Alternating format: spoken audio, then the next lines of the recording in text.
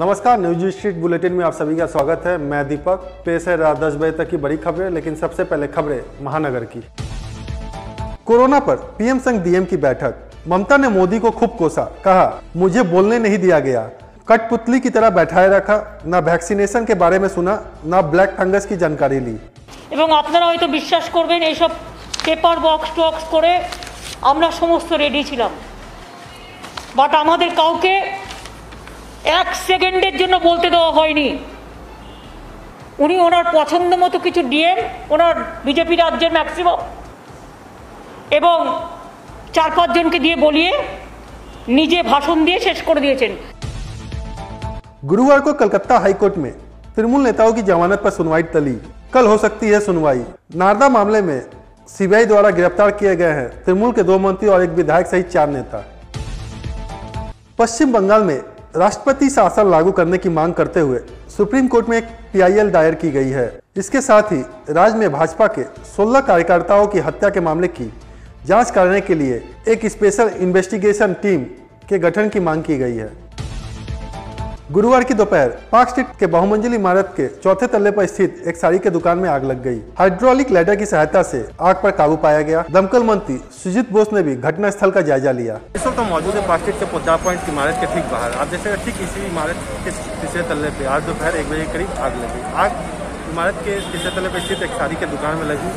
स्थानीय लोगों के अनुसार दोपहर एक बजे के करीब जब सिक्योरिटी गार्ड ने दुकान के खिड़की से धुआँ निकलते देखा तो उन्होंने घटना की सूचना तुरंत इमारत के केयरटेकर और पुलिस को दी। लॉकडाउन को लेकर पुलिस ने बढ़ाई सख्ती विधाननगर और हेस्टिंग्स इलाके में कई लोगों पर की गई कार्रवाई।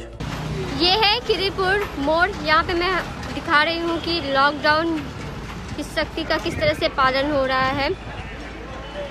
ट्रैफ़िक पुलिस के कर्मी मोड़ पे मौजूद है और गाड़ियों की चेकिंग कर रहे हैं। जो बाहर निकले हुए हैं उनसे पूछ रहे हैं कि किस कारण से आप बाहर जा रहे हैं।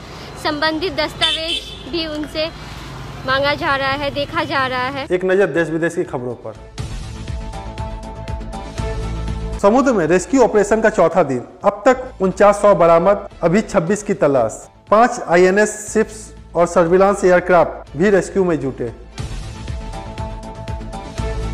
अब खुद कीजिए कोरोना की जाँच। पुणे की कंपनी ने कोविसेल्फ किट बनाई। अब दो मिनट में जाँच कर सकते हैं। पंद्रह मिनट में रिज़ल्ट दे देगी।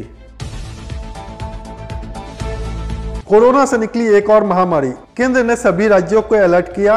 राजस्थान समेत चार राज्यों में ब्लैक फंगस महामारी घोषित। दिल्ली में भी अलग सेंटर। आइए रुक करते हैं जिलों की खबरों की ओर।